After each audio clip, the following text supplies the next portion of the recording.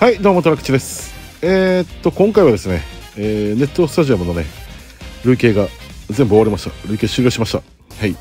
えー、っとまあ丸2日で、えー、あとまず丸5日残しで丸2日で、えー、全部終わりしました。えー、ここですねこういう感じですね。はい。今回はだからこの一番下の S ランクや X ランク OB 契約書第5弾これの開封をしたいなと思います。はい。なかなかちょっとねドキドキしてますけども。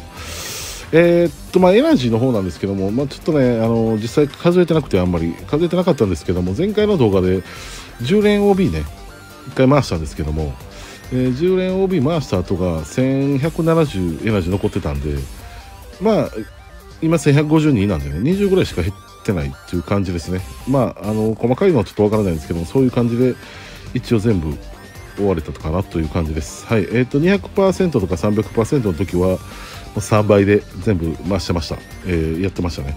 あとは全部エナジー1つずつとかでやってたんですけども基本的には、えー、300200の時は3倍で全部やってましたんで、まあ、そういう感じでやってもまあ、うん、結局減ってるのが20エナジーぐらいなんでね、まあ、それぐらいで回れるんだなっていうのは、まあ、丸2日で終わらしましたけどもそれでいけましたんで。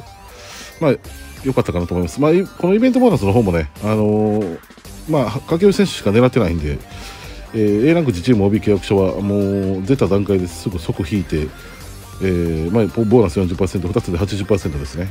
これがプラスになりますんでまあ、えー、結構サクサクいったという感じはします。はい。えー、っとそうですね。ネットスタジアムこういう感じでした。えー、それで今回まあ欲しい選手もちろん、えー、阪神純正無課金でやってますんで阪神純正だけでやってますんで狙うのは掛布選手だけです。えー、このミパ同地の82弾道アーティストミスタータイガース欲しいです。はい、まあ、今週ちょっと走れないということでまあちょっとね変則的な感じの取り方になるんですけども、まあ、取れるかどうか分かんないですけども、まあ、先に、えー、前回の動画で10連 OB10 連しまして、まあ、もちろんその時、えー、下級選手は来ませんでしてね。でその後にまあ累計を引いて累計でもし下級選手が出たらそれで終わり。累計で下級選手が出なければ、えー、さらにまあ20年30年やると。そういう感じでいきたいなと思ってます。今回はその累計の契約書の開封です。はい。えー、ちょっとねまあドキドキしますけども。まあこのキャプテンのランディ・バス選手も、えー、今年の思えば今年の2020年1月1日正月にねプロスピ応援団の累計報酬の契約書からえー、降臨してくれましたので今回もミスタータイガース待ってます。はい。それでは行きます。えー、掛布選手ですね。もう本当に来てほしいです。ここで来れば終わります。えー、スランク OB 契約書第5弾ネットスタジアムの累計開封します。掛布選手お待ちしております。来てくれ。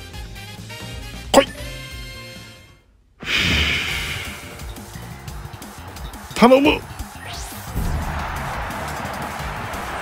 どう？あかんドキドキする。来てくれ。影尾選手。来てください。お願いします。和田選手。うん中日の和田選手ですね。和田選手もね結構強い選手ですよね。でも掛布選手じゃなかったらもう誰来ても一緒なんでね。うん。まあ仕方ないです。これはもう10人分のうち引けなかったんでね。あーそっか。まあまあまあそんな甘かないですよね。まあ残念です。残念ですけどしゃあないです。はい。小田選手来てくれました。下級選手来へんかった。そっか。はい。まあまあ、えー、これはねもう想定内の話です。まあそうですね。今回こんな感じなんですけども、まあ、次回、えー、20連30連やってもう一回、えー、この下級選手狙いに行きます。はいもうそれで出なかったらもう諦めるしかないんでね。もうそこまでやっても出なかったらもうちょっと縁がなかったということなんで。次回20連30連やりますんで、まあ、ぜひご覧いただきたいなと思います。今回はちょっとね、えー、中日の和田選手ということで、えー、これですねあ強いですねミート83パワー80まあ当たりなんですけどね。まあでも阪神純正だけでやってますんで掛布選手、えー、次回の20年30年でぜひ来てもらいたいと思います。今回はこんな感じです。また動画あげますんで見ていただけるとありがたいです。以上。虎吉でした。